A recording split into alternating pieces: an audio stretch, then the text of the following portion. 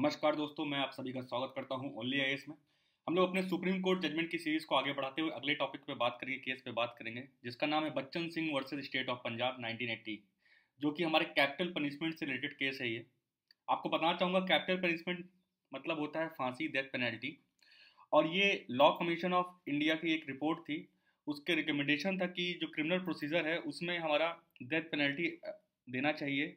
अगर कोई special reason है या स्पेशल कोई केस है, उसमें ये बोला गया कि जो इंडिया है, काफ़ी डाइवर्सिटी है यहाँ पे तरह तरह के लोग हैं और कुछ लोगों के पास एजुकेशन है, कुछ लोग पास नहीं है, सबकी मोरालिटी अलग अलग है तो उस बेसिस पे कुछ स्पेशल रीज़न पे हम फांसी की सज़ा सुना सकते हैं डेथ पेनल्टी दे सकते हैं।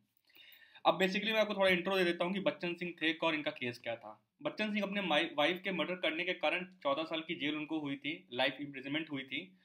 चौदह साल जब जेल का पूरा उनका पूरा हो गया, सज़ा पूरी हो गई तो वो जेल से बाहर निकले। उसके बाद वो अपने कज़न भाई के यहाँ रुकने गए और बट उनकी जो वाइफ और जो बच्चे थे, उन्होंने इस चीज़ का विरोध किया। अब उनकी मानसिक हालत नहीं सही थी बच्चन सिंह की, क्या था, उनको क्या आया दिमाग में तो जो उनके भाई थे और उनकी जो भाभी थी, वो जब घर से बाहर चली गई तो उनके चार बच्चे थे, चार में से तीन बच्चों को उन्होंने जान से मार दिया, जिसके कारण उनको फांसी की सजा सुनाई गई सेशन कोर्ट के द्वारा मतलब कि डिस्ट्रिक्ट कोर्ट जो होती है वो। फिर उनके वकील ने हाई कोर्ट में अपील किया। हाई कोर्ट ने मना कर दिया कि आपको सज़ा आपकी ख़त्म नहीं कर सकती जो फांसी की सज़ा सुनाई गई है, वो आपकी नहीं ख़त्म कर सकते हम। उसके बाद इन्होंने सुप्रीम कोर्ट में यही अपील फ़ाइल की। तो जानते हैं क्या केस चला था। बेसिकली सुप्रीम कोर्ट में जब केस गया तो वहाँ पे क्वेश्चन ये उठा कि क्या डेथ पेनल्टी जो फांसी की सज़ा है, वो संवैधानिक तरीके से सही है कि नहीं है।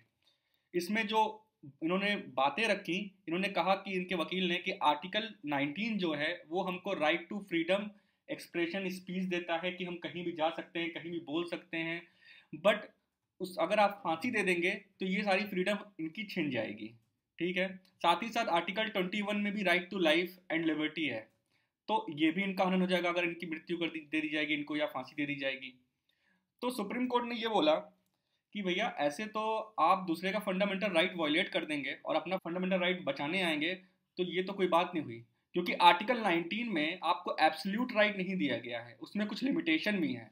मतलब कि आपको भी ध्यान देना होगा, अपना फंडामेंटल राइट यूज़ करते हुए आपको ये भी ध्यान देना है कि दूसरे का फंडामेंटल राइट वायलेट नहीं होना चाहिए। और ये भी क्वेश्चन उठा, क्या सुप्रीम कोर्ट हर मर्डर केस पे या जो एक्सट्रीम मर्डर केस पे ये सुनवाई कर सकती है कि फांसी की सज़ा किसको देनी चाहिए, कि और कितनी क्या सज़ा होनी चाहिए, ठीक है?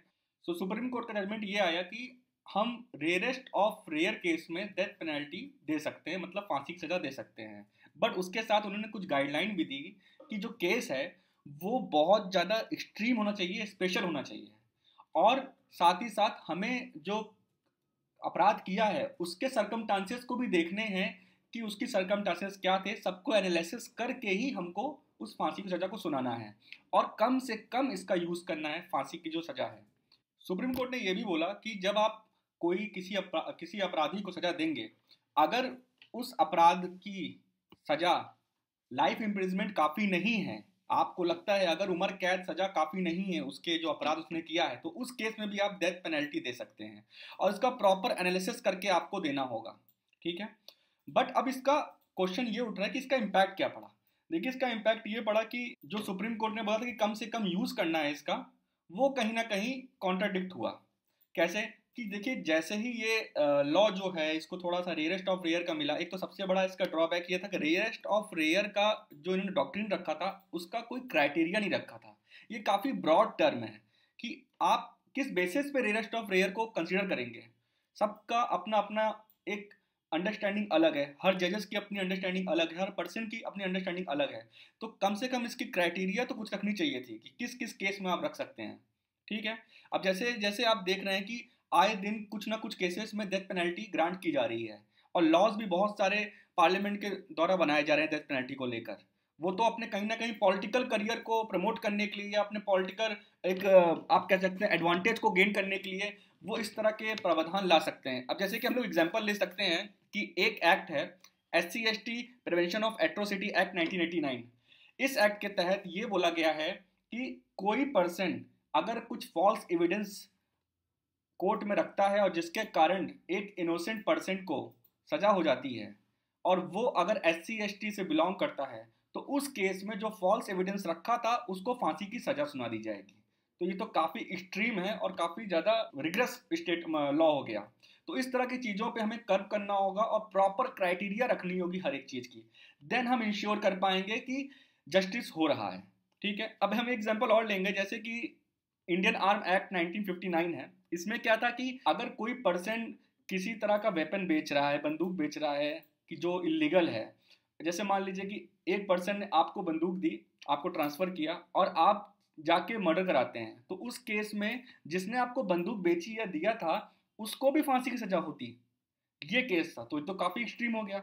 2012 में सुप्रीम कोर्ट को ये चीज़ रियलाइज़ हुई और उन्होंने उसके बाद इसको अनकॉन्स्टिट्यूशनल कहा और इसको रद्द करते हुए बोला कि नहीं, इस केस में आप ऐसे नहीं कर सकते हैं कि कोई पर्सन अगर ट्रांसफ़र किया, सज़ा ज़रूर होगी बट सज़ा होगी सिर्फ़। किसी को बंदूक देने के कारण सिर्फ़ उसको मौत की सज़ा नहीं सुनवा दी जाएगी।